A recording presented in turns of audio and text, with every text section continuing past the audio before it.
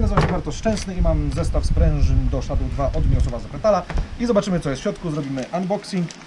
Więc to przychodzi sobie w takiej kopercie bąbelkowej. I w środku mamy zestaw sprężyn, mamy sprężynę oporopowrotną.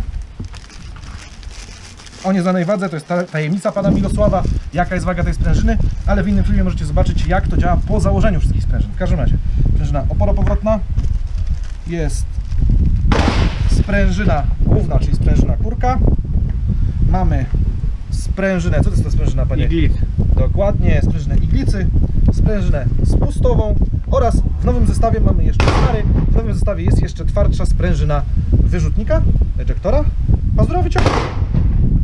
Także poproszę tutaj kamerę. Taki zestaw sprężyn pan Mirosław nam tutaj zapewnił. E, I dzięki temu ten pistolet będzie pracował dużo lepiej, tak jak mówiłem, co możecie zobaczyć w innym filmie. Zapraszam na inne filmy.